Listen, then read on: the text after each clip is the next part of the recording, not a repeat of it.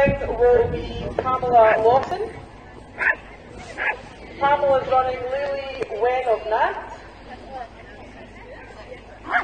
Pamela is from Livingston and her little dog is a Parson Russell Terrier who is otherwise known as Ellie. Ellie's another baby, she's only three years old.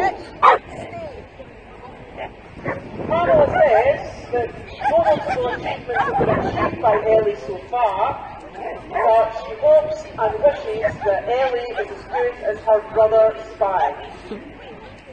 Ellie was born in Wales, hence the Welsh in her KC name, and her most favourite thing in the world is her tennis ball. Pamela is no stranger to success and agility, winning championships with Spy, cross with both Pip and Spy, when it's CSV Island with Spy, and winning also Scottish Agility Dog of the Year with Spy.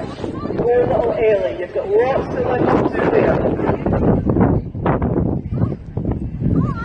That's it.